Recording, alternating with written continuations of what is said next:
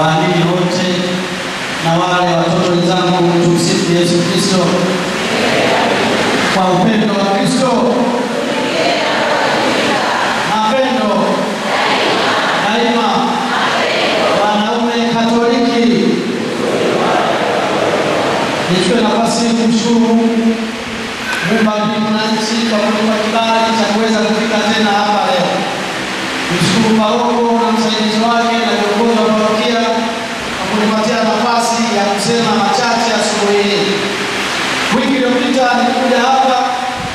tumeongea mambo ya muhimu kabisa juu ya imani yetu, hususan swala zima la kumtoa.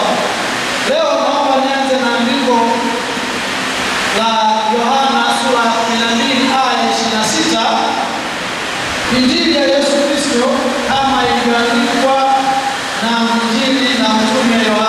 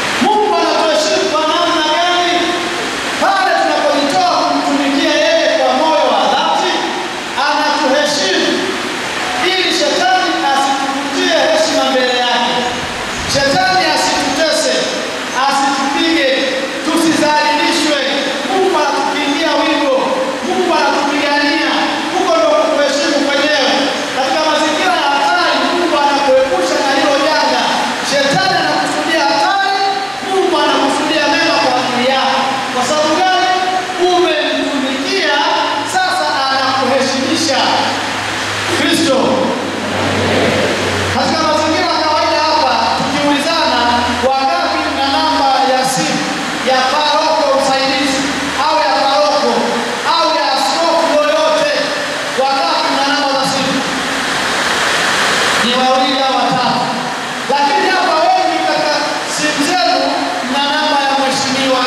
waziri.